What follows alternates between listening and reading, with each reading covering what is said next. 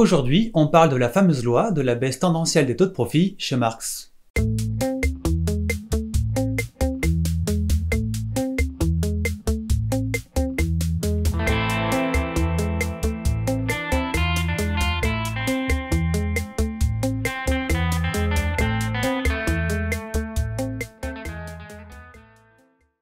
Marx reprend à son compte la théorie de la valeur travail, dont on a parlé dans les deux vidéos précédentes. Pour lui, comme pour Ricardo, la valeur d'un bien, c'est la quantité de travail incorporée dedans. Et si un bien vaut trois fois plus qu'un autre, c'est tout simplement que sa fabrication a demandé trois fois plus de travail direct et indirect. Là-dessus, Marx va insister ou rajouter trois éléments importants, ce qui lui permettra d'obtenir cette fameuse baisse tendancielle des taux de profit. Donc on commence par présenter ces trois éléments.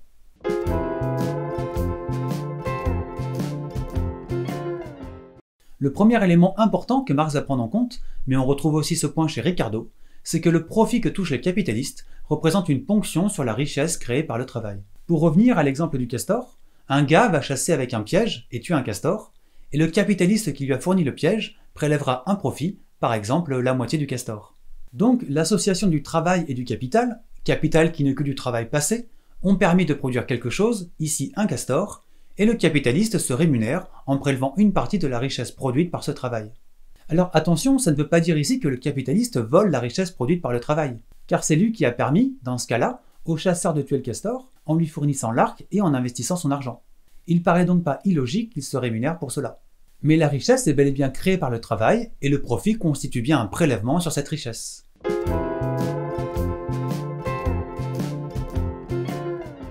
Deuxième élément, un échange de marchandises ou de capital ne peut pas générer de plus-value. La plus-value, c'est ce qui permet aux capitalistes de produire des marchandises qui ont une valeur plus forte que ce qu'elles ont coûté à produire, et donc ce qui leur permettra ensuite de réaliser des profits. Marx remarque que cette plus-value ne peut pas provenir de l'acte d'échange lui-même, c'est-à-dire d'un achat ou d'une vente, l'échange n'est pas créateur de richesse et ne peut donc pas être la source de la plus-value. Pour revenir à notre castor, le piège qui sert à le capturer a nécessité 4 heures de travail et donc a une valeur correspondant à peu près à ces 4 heures de travail. Si j'achète ce piège et que j'embauche un chasseur pendant deux heures pour capturer un castor, j'aurai alors un castor d'une valeur correspondant à 6 heures de travail.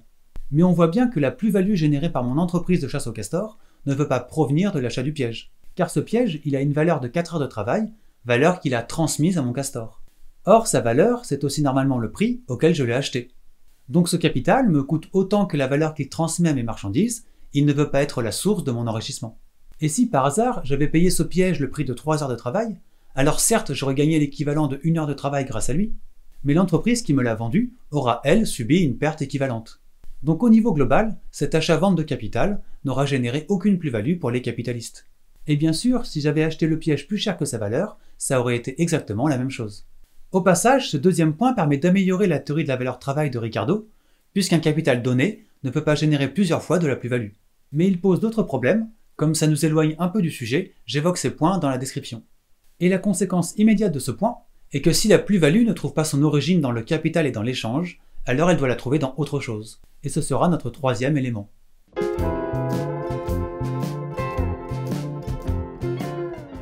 Ce troisième élément donc est que si la plus-value ne se trouve pas dans l'échange et le capital, elle se situe nécessairement au niveau de la production et du travail. Dans notre exemple toujours, le chasseur embauché va par son travail permettre d'attraper le castor et lui transmettre de la valeur. Mais il recevra en échange un salaire inférieur à la valeur qu'il a créée par son travail. La plus-value résulte alors de la différence entre la valeur créée par le travail et la rémunération de ce travail par le capitaliste. Pourquoi alors les travailleurs acceptent-ils de vendre leur force de travail à un salaire inférieur à la valeur qu'ils vont créer en produisant? Tout simplement car produire des marchandises demande à la fois du travail et du capital. Or, un travailleur ne possède pas de capital, il possède uniquement sa force de travail. La seule possibilité qu'il a de produire des marchandises, et donc de survivre, est alors de vendre sa force de travail à un capitaliste, quel que soit le niveau des salaires. La source de la plus-value pour une entreprise, c'est donc le travail fourni par ses employés.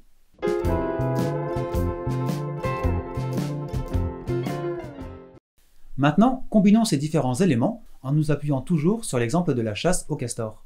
Le propriétaire de l'entreprise de chasse va donc acheter un piège d'une valeur de 4 heures de travail, embaucher un chasseur pendant 2 heures et obtenir un castor d'une valeur de 6 heures de travail. Comme on l'a vu, sa plus-value ne peut avoir pour origine que le travail direct de ses employés. Supposons alors que notre chasseur ne soit rémunéré qu'à hauteur de la moitié de la valeur qu'il a créée. Ça signifie que son salaire correspondra à la richesse créée par une heure de travail, et la plus-value aura pour origine cette heure de travail non payée au chasseur. Ce rapport entre ce qu'a gagné le capitaliste et le salaire qu'il verse au travailleur, c'est ce que Marx appelle le taux d'exploitation. Dans notre exemple, le capitaliste a prélevé une heure de richesse créée par le travail et a versé à son employé un salaire équivalent à une heure de travail. Le taux d'exploitation est donc de 1 sur 1, soit de 100%. Et pour calculer le taux de profit, on peut faire le rapport entre la plus-value du capitaliste, équivalente ici à une heure de travail, et la valeur créée par l'association du travail et du capital, équivalente ici à 6 heures de travail. Le taux de profit sera donc de 1 sur 6, soit à peu près 16,7%. Ce taux de profit, il sera le même pour les autres entreprises de chasse de la région. Chacune va se procurer un piège qui a demandé 4 heures de travail pour être produit et embaucher un chasseur pendant 2 heures pour attraper un castor. Maintenant, imaginons que notre première entreprise parvienne à se procurer un deuxième piège et que grâce à ce piège, le chasseur puisse désormais chasser deux castors en 2 heures. Ça signifie que dans cette entreprise, il faut désormais deux pièges qui représentent chacun 4 heures de travail, plus 2 heures de chasse, soit 10 heures en tout, pour attraper deux castors. Donc le temps de travail qu'il faut pour attraper un castor, c'est la moitié, soit 5 heures. En fait, un piège qui demande 4 heures de travail et une heure de chasse. Est-ce que notre capitaliste a intérêt à acheter ce deuxième piège? Oui, bien sûr, car chasser un castor ne demande plus que 5 heures de travail, là où ça en demandait 6 dans les autres entreprises. Donc il sera plus compétitif. Si on suppose que le taux d'exploitation est le même que précédemment, ça signifie que le patron va prélever la moitié de la valeur créée par le travail. Ici, il y a une heure de travail par castor capturé, donc le patron en prélève la moitié, soit une demi-heure. Et il va continuer à vendre son castor au même prix que les autres, soit au prix de 6 heures de travail. Du coup, son profit, il est sur chaque castor équivalent à une heure et demie de travail, une demi-heure de travail prélevée sur le chasseur, et une heure gagnée grâce au fait qu'il produit moins cher que la concurrence. Si on rapporte cette heure et demie aux 6 heures correspondant à la valeur du castor, ça donne un taux de profit de 1,5 sur 6, soit de 25%. Notre capitaliste a donc bien fait d'investir dans ce deuxième piège, son taux de profit a augmenté. Mais que va-t-il se passer ensuite? Toutes les autres entreprises vont vouloir faire la même chose et acheter un deuxième piège à castor. Par conséquent, il ne faudra partout plus qu'un piège et une heure de chasse pour tuer un castor, soit 5 heures en tout. Et la concurrence va ramener le prix du castor au niveau de ces 5 heures de travail. Quel est alors le taux de profit pour chacune de ces entreprises? Si le taux d'exploitation est toujours le même, elle prélève la moitié de la valeur créée par le travail pour chaque castor attrapé, soit ici la valeur créée par une demi-heure de travail. Et les castors ont une valeur de 5 heures de travail. Le taux de profit est donc de une demi-heure sur 5 heures, soit 0,5 sur 5 ou 10%. Il a baissé. On constate alors que chaque entreprise avait intérêt individuellement à acheter un deuxième piège à castor pour augmenter ses profits, mais une fois qu'elles l'ont toutes fait, leur taux de profit diminue. Comment alors peut-on expliquer cette diminution du taux de profit?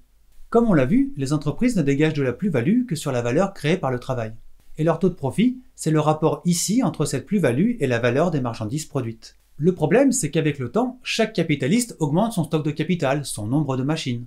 Ça lui permet d'augmenter la productivité du travail et donc d'être plus compétitif. S'il ne le fait pas, son entreprise moins productive sera éliminée par la concurrence. Mais en faisant ça, il diminue la part du travail qu'il faut pour produire un bien, comme on l'a vu avec l'exemple du castor. Or, comme le profit ne peut être prélevé que sur cette part, on se retrouve mécaniquement avec une diminution des taux de profit dans l'économie. Au passage, l'achat des machines, des matières premières, etc., c'est ce que Marx appelle le capital constant. Et le paiement des salaires, c'est ce qu'il appelle le capital variable. Le rapport entre le capital constant et le capital variable est quant à lui appelé la composition organique du capital. On devrait s'attendre avec le temps à ce que la composition organique du capital augmente dans nos économies, qu'il y ait de plus en plus de capital constant par rapport au capital variable puisqu'on accumule toujours plus de capital. Mais ce processus va faire baisser les profits, puisqu'ils ne peuvent provenir que du capital variable. On se retrouve donc avec un système dans lequel chacun a intérêt à augmenter sa composition organique du capital pour être plus compétitif et accroître ses profits, mais quand tout le monde le fait, tout le monde y perd. Les capitalistes finalement, en cherchant à accroître leurs profits, ne font à long terme que est la branche sur laquelle ils sont assis. Car les taux de profit vont diminuer peu à peu jusqu'au jour où ils seront tellement faibles que cela générera d'énormes crises et la chute finale du capitalisme. Dans notre exemple, si tout le monde se met à acheter un troisième piège et qu'un chasseur peut désormais tuer trois castors en deux heures, les taux de profit passeront à environ 7%. Et avec un quatrième piège, ils seront d'environ 5,5%, etc., etc. À nouveau, je mets les calculs dans la description. Le capitalisme finira donc par s'effondrer sous le poids des forces qui avaient permis son expansion, l'exploitation des travailleurs, la recherche du profit et l'accumulation du capital.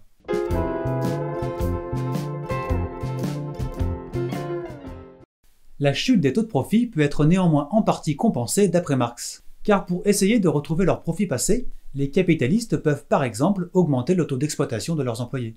Tout à l'heure, les taux de profit étaient de 16,7% avec un piège et de 10% avec deux pièges. Mais le taux d'exploitation dans les deux cas était de 100%. Les capitalistes prélevaient grâce au travail autant de richesses qu'ils versaient de revenus à leurs employés.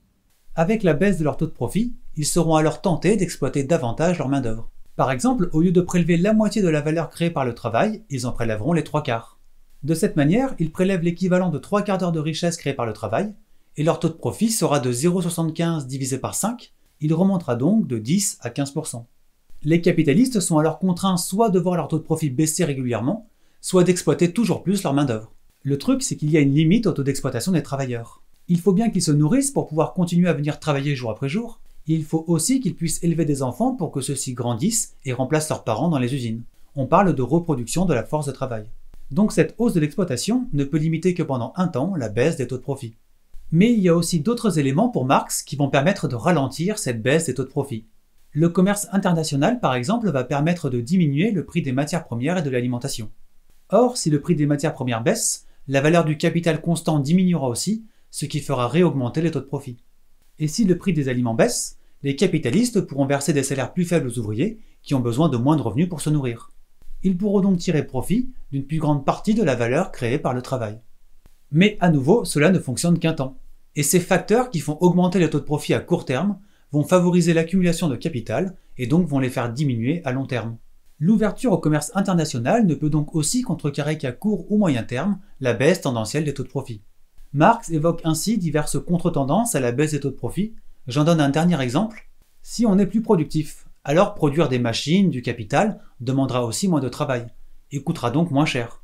Ce qui, à nouveau, devrait faire baisser la valeur du capital constant et faire mécaniquement réaugmenter les profits.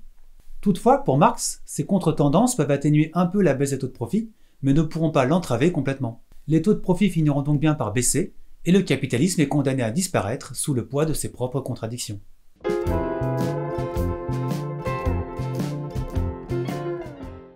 Bon, j'en arrive au moment où je vais décevoir tous ceux qui voient dans cette loi l'explication rêvée pour remettre en cause le capitalisme.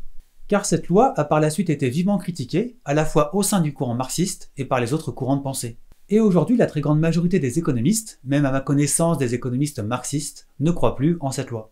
Si je prends deux de mes ouvrages de référence en histoire de la pensée économique, écrits par deux auteurs qu'on ne peut pas soupçonner d'antipathie pour la théorie marxiste, il est expliqué dans le premier que cette théorie possède une faiblesse dont il semble qu'aucune reformulation ne permette de la surmonter, et dans le deuxième, il parle d'une théorie qui souffre de sérieux défauts et d'une lacune considérable. Les citations exactes sont dans la description. Alors, où est le problème? Comme c'est un débat qui a de nombreuses ramifications et continue à faire l'objet de discussions aujourd'hui, je vais me contenter de donner uniquement quelques exemples de critiques qui ont été faites. La première, qui reprend une des contre-tendances évoquées par Marx, est que si effectivement nous accumulons toujours plus de capital dans nos économies, on ne constate pas pour autant une augmentation du rapport entre la valeur de ce capital et la valeur des richesses produites. Donc il ne semble pas y avoir de réelle modification de la composition organique du capital.